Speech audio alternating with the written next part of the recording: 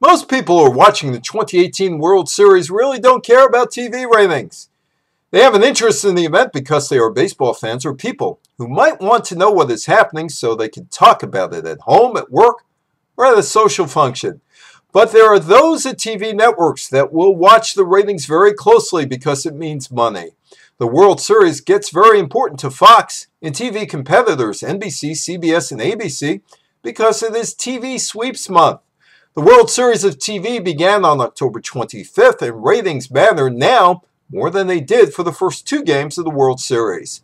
Fox will more than likely win the viewership contest with games 3 and 4 of the World Series, and additional games are better for Fox. The network has a chance at winning five nights of the period that ends on November 21st. Baseball ratings have fallen dramatically, and baseball appeals to an older viewer, which is a problem for the suits that run both the game and the TV portion of the business. Major League Baseball officials know that, and that's why they are attempting to modernize a 19th century game for a 21st century audience. In 2015, then CBS head Leslie Moonves was rooting for the Mets, but he knew business wise it would be better for Kansas City finishing off the Mets in four games. There's a part of me, even though I'm an old school Mets fan competitively, that wants the series over in four. I don't want Fox to get three more of those great numbers.